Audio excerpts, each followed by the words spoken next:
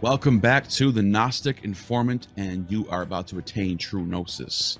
And today, returning is one of the highly demanded scholars, Dr. Jason Reza Jorjani, author of Prometheism, Lovers of Sophia, Iranian Leviathan, Prometheus and Atlas, and a ton more books. But today, we get the pleasure of talking about Prometheus, one of the more fascinating characters in mythology. Who is he? What is his story?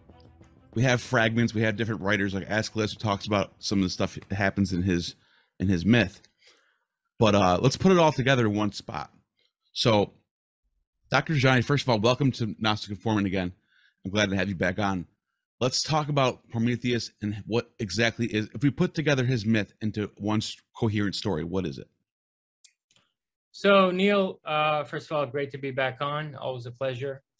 Um, the thing about the myth of Prometheus is that it isn't nearly as widely known as it ought to be, uh, to the point where you have to wonder. And after all, this is a, a Gnostic-oriented program.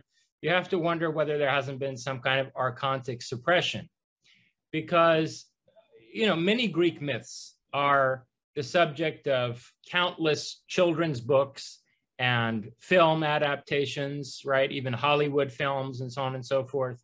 But here we're dealing with a myth that spans from the War of the Gods and the Titans to the creation of mankind to the great flood that destroyed a worldwide human civilization, right? Um, I mean, the myth of Prometheus is unparalleled in terms of its monumental scope, uh, addressing all of the key turning points of you know the the creation, uh, evolution, and potential past destruction of mankind. So why is this myth as obscure as it is? I think it's because uh, the the essence of this myth is a call to rebellion and self-determination that's extremely threatening to any reigning establishment. And so in the classical world, this myth was already being suppressed because it was a threat to, you know, the Olympian uh, world order of that time. And then as this myth transformed, and we'll discuss this, into a Luciferian form mm. after the advent of Christianity, particularly, you know, um, from the Middle Ages through the Renaissance uh, into the early modern period, when Prometheus is rediscovered and reappropriated by particularly romantic authors like Byron and Shelley and Goethe and so forth. Prometheus yet again became a symbol of insurrection and, and human self-determination that was threatening both to the church and to the state. And so this is why I think that, you know, um, it's been rendered far more obscure than it ought to be. And uh, and so let's uh, unpack, you know, the, the core symbols and, and main um, twists and turns of this very powerful. Uh, I was about to say epic, but really what it is is a tragedy. And in fact, as we'll get into it, Prometheus is the first known tragedy in the recorded history of human literature. Wow. That's fascinating. So, uh, where should we start? Should, should, we start maybe with the sources? Just a review of. Yeah, because uh, I, I know you got in Hesiod, you have a lot of Prometheus stuff happening with you mentioned Deucalion and the flood. Prometheus sort of plays this role, and I almost wonder if there's an older Proto-Indo-European myth that predates the Sumerians and this myth because he looks like he's playing the same role Enki's playing in Sumeria, where he tells, well, Enki tells uh what a Gilgamesh or whoever, hey, build a flood because uh Anu's going to flood everybody out. But in, in the in the Hesiod myth, he's like, it's just Zeus doing that. It's the same thing. And then you have Aeschylus, but I'll, I'm jumping ahead now. But yeah, let's let's get to the sources. Sure. So there most certainly is uh, both an Indo-European predecessor or prototype for this myth, and also a Sumerian one. And actually, since you went there, let me just run with that. Sure. That basically the myth of Prometheus in its Greek form appears to be a synthesis of the myth of Enki with uh, the story of a figure called Amirani. And so um, let me start with the lesser known one. Amirani is a fire bringing titan that was worshipped by the Scythian branch of the Iranian peoples hmm. uh, who lived in the Caucasus. Now, of course, you know, if anyone knows even even uh, you know the littlest bit about the myth of Prometheus, they know that Prometheus was bound in the Caucasus by Zeus. This is where, you know, it's the site where he's punished, tortured for having been the benefactor of mankind. So in the Caucasus Mountains, there was actually this cult of Amirani. And uh, you had uh, the Scythians worshiping a titan who waged war against the gods and who brought fire to mankind and taught uh, humans metallurgy, including how to forge weapons. And you often see you often see imagery of Amirani in uh, particularly what's present day Georgia, which used to be, um, you know, uh, Scythian Iranian territory. And in fact, the last remnant of the Scythian people, the Ossetians, still live in Georgia today. Wow. Uh, and so in, in, that area of Georgia and Ossetia, this uh, you know stronghold of, of the Iranians in the Caucasus, you see this imagery of Amirani holding a torch in one hand and a sword in the other, you know, symbolizing the fact that this fire that he stole from the heavens and brought to humanity was used as a fire of the forge, uh, including in order to empower humanity to basically declare its independence from tyrannical and unjust gods. Uh, so this Amirani figure also winds up being chained and attacked by the eagle of the um, tyrannical lord that he leads humanity in a rebellion against. Wow. And we'll come to this later as part of you know the various episodes in the myth of Prometheus. But ultimately, Hercules or the Greek Heracles frees Prometheus from you know his uh, his uh, torture, uh, being chained to this rock, and he does so by shooting the eagle of Zeus through with arrows. And this is part of the Amirani myth that there is this figure who the Greeks called the Scythian Hercules, and who the Ossetians refer to as Batraz, and who uh, the Eastern Scythians called Rostam. Rostam is Saksi, Rostam the Scythian born, hmm. who becomes the epic hero of the, the uh, uh Persian national epic, the Shahnameh.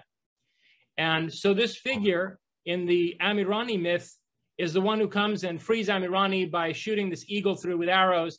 And this was such a, a, a uh, widely disseminated and deeply entrenched element of Scythian folklore that the people in Ossetia to this day still have a tradition of destroying eagles' nests when they find them as a uh, reverence of, you know, and, and memorialization of um, the freeing of Amirani. So clearly there are these elements of the Prometheus myth there. And it also, uh, it also is worth mentioning in that regard that the Parthian dynasty of Iran were descended from Scythians. They adopted the Persian, um, you know, imperial culture and the legacy of the Achaemenid Persians, but they were not Persians. They were descended from Scythians. So they were more nomadic barbarian people who then came and took over the seat of the empire and created the second empire of Iran, the Parthian Empire, which was the great rival of classical Rome. Right. And these Parthians had a myth that was so important to them that it was the basis for the iconography on their coins. These Parthians had a myth that Perseus stole fire from the heavens mm. and brought it to mankind uh, and established the order of the Magi in order to be the guardians of the eternal flame on the earth. Mm. And according to this myth, Perses, the son of Perseus, was the patriarch of the Persian people. Now, this is interesting because in the iconography of Perseus slaying Medusa, Perseus is looking away from the head of the Gorgon as he severs it. And it's been noted by art historians that the iconography of the bull slaying in Mithraism has this same uh, posture, and you don't find it anywhere else in classical art. Mithras is looking away from the head of the bull as he slits its throat. And in Mithraism, Mithra is portrayed as going to battle against Zorvan, who is basically Kronos, the Lord of Time. And look, this becomes very significant to the myth of Prometheus. So Mithra overpowers Zorvan, and Zorvan was depicted as a gorgon. Hmm. So the Medusa imagery in the myth of Perseus is like a later reiteration of this archaic Mithraic idea of Mithra, namely what becomes later per- Perseus, slaying the Gorgonic lord of time and appropriating its power in the form of the severed head, right? And but looking away from it at the same time. And this same figure steals fire from the heavens, brings it down to earth. His son is the patriarch of the Persians, and he creates the order of the Magi, namely the priests of, of Zarathustra's religion, right. to be the guardians of the fire. And uh, there are a lot of elements, uh, you know, of the teaching of Zarathustra, like the use of the term Titan of wisdom to refer to Ahura Mazda, the main symbol of, you know, the religion being the eternal fire, the main quality of Ahura Mazda being forethought, which is a synonym of Promethea, the root of the name of Prometheus, forethought or thinking ahead or the progressive mentality, a forward-oriented mind. Right.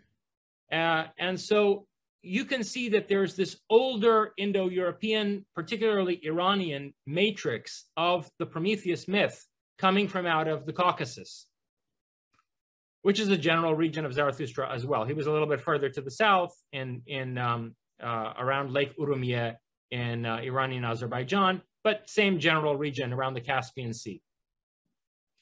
And it looks like what happened is this myth fused with the myth of Enki. And how did that happen? Well, the Persian Empire, you know, emanating from out of Persia, from out of like the territory right above the uh, Persian Gulf, took both Mesopotamia and then, of course, you know, the Iranians were native inhabitants of the Caucasus. So it, the Persian Empire connected the territory where the Sumerian myths were prevalent with the territory where you had the myth of Amirani in the Caucasus. And these two somehow fused so that by the time Hesiod is living in Anatolia, which again is part of the Persian Empire, right. Hesiod was a citizen of Iran. Uh, well, in Hesiod's time, actually, it was slightly before the Persian Empire, but the Medes were already very dominant right. going into southern Anatolia.